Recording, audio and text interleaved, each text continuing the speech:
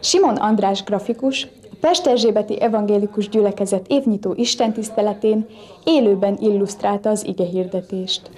Egy kedves evangélikus lelkész barátom azzal tisztelt meg, hogy katolikus grafikusként elhívott egy Isten tiszteletre, hogy itt szolgálhassak. Most életemben először élőben készíthettem olyan rajzokat, amiket János barátom az ő általa elgondolt gondolatokkal kísért és illusztrált. Tulajdonképpen egymás munkáját illusztráltuk. Ezek a tulajdonképpen szimbolikus rajzok azért válhatnak érdekessé, fontos a gyerekek számára, mert egyféle gondolkodásukban egy olyan fajta kreativitásra inspirálhatja őket ez a fajta egyvonalas, sokféleképpen értelmezhető rajz, segít abba, hogy egy bizonyos dolgot több oldalról járjanak körül.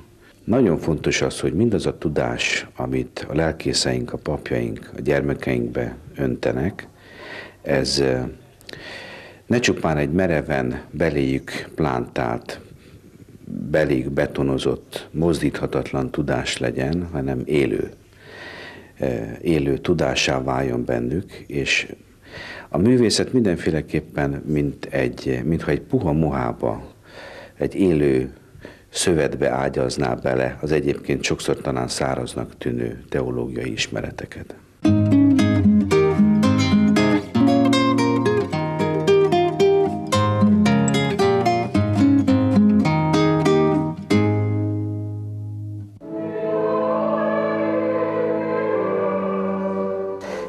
egy eh, tradicionálisan eh, keresztény katolikus családba születtem, és eh, a szüleimnek a meleg szeretettel átszőtt vallásossága rányomta bélyegét az életemre, pozitív értelemben. Meghatározta a gyermekkorom Istenhez való viszonyulását.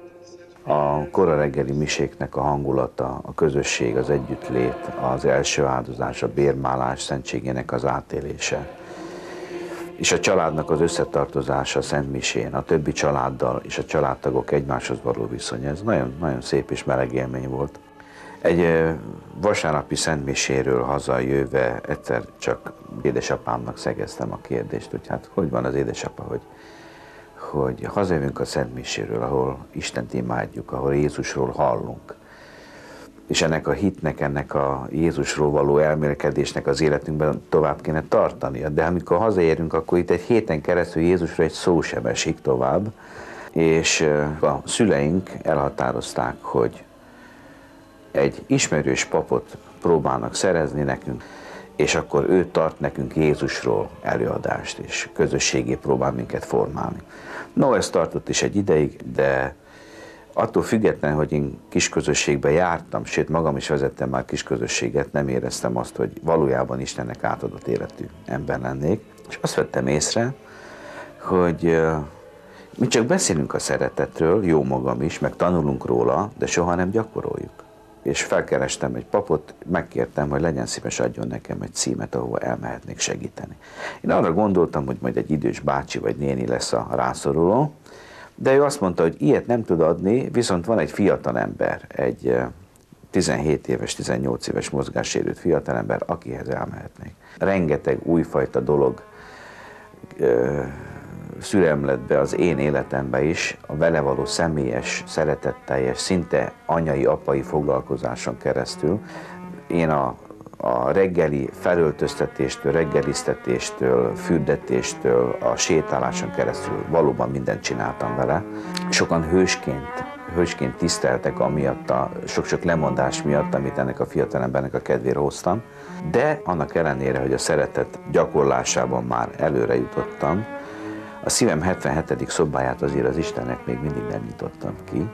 Azokban olyan titkos terveket dédelgettem, amiket szerettem volna mindenképpen megvalósítani, és attól való félelmemben, hogy az Isten esetleg másképp gondolkodik ezekről a titkos tervekről, ezekről, ezekbe őt nem nagyon akartam beavatni. Egy pap ismerősünk templomi darabba főszereplőként olyan mondatokat mondatott el velem, amelyek az én tudtomon kívül egy fiatalembert, aki hátul állt a templom legvégében, oly módon szíven ütöttek, hogy Isten megtérésre szólította föl. Oda jött hozzám, és azt mondta, hogy András, én nagyon hálás vagyok neked. Mert az Isten rajtad keresztül, téged fölhasználva hívott engem meg arra, hogy őt szolgáljam. És a, szeve, a szívemre helyezte azt a felelősséget, hogy megkérdezzem tőled, hogy vajon te is Istenhez tartozol-e valójában, átadtad-e teljesen önmagadat Istennek. És az első talán gőgös és beképzelt válaszom az volt önmagamnak, meg neki is, hogy hát hogy kérdezhetsz ilyet, mikor, mikor úgy érzem, hogy minden idegszállammal igyekszem őt szolgálni. Ez a fiatalember nem érezte meggyőzőnek az én válaszomat, nem szállt le rólam addig, ameddig meg nem puhított, és akkor egy találkozóra, ahol Berecki Sándor református lelkész vezette a társaságot, elvittem magammal a zárva tartott 77. szoba kulcsát is a lelkembe. Készségesen arra, hogy Istennek majd odaadom. És akkor egy életgyónást tettem, és felajánlottam az életemet az Istennek, az egész közösség, akik ott testvérien együtt imádkoztak, együvé tartoztak, egy szívvel, lélekkel imádkoztak értem. A tudatomban történt egy nagy változás, nevezetesen, mintha éreztem volna, hogy az Isten azt mondja, hogy nem te választottál engem, hanem én választottalak téged. És ez egy végtelen nyugalommal töltött el. Amikor ennek az életgyónásnak vége lett, akkor a Sándor bácsi azt mondta, hogy testvérem, menj vissza a saját egyházadba, és ezzel a megújult szívvel, megújult lélekkel szolgál tovább a saját egyházadat. És attól kezdve tulajdonképpen egy sokkal mélyebb, sokkal elevenebb kapcsolatra jutottam Istennel, ami a mai napig tart.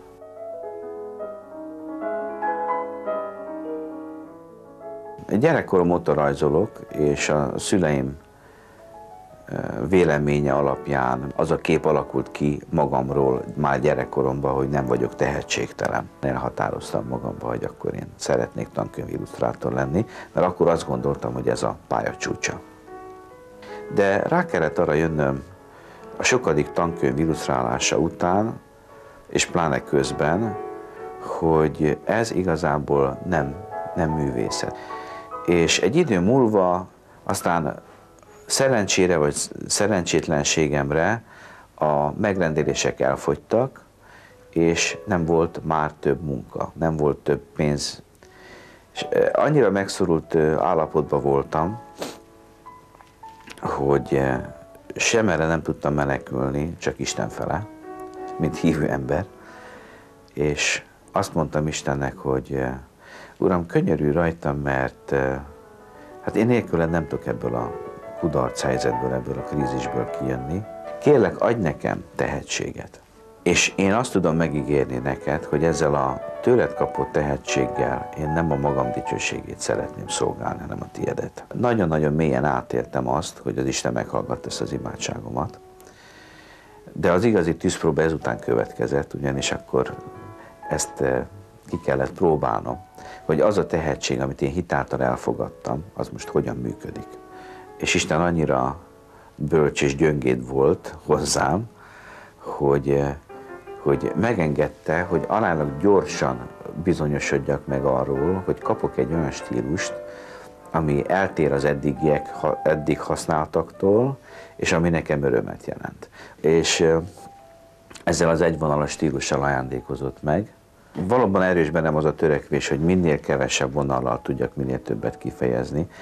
Tehát életem egyik eh, legnagyobb rajzi élménye az, amikor Jézus meggyógyítja Bénát. A négy barát egy vonallal van megrajzolva, ők ott négyen a tetőn teljesen együvé tartoznak, de mind a négy emberből jön egy vonal, ami tartja azt az ágyat, amin a beteg társuk feküdt. Ami azt jelképezi, hogy ők nem csak egymással voltak tökéletes egységben, hogy segítsenek a barátjuknak, hanem a barátjukkal is. Számomra a rajzolás az tökéletesen egybe fonódik az imádsággal és az Istennel való kapcsolattal, illetve neki való hálaadással mert hiszen a tehetség, amit ilyenkor használok, az nem az én tehetségem, hanem Istennek a, a csodálatos művészi tehetsége, amiből a hit által én csupán részesedhetek. És végtelen hálás vagyok neki minden olyan rajzért, ami, ami sikerül, és amivel tudok az embereknek örömet okozni.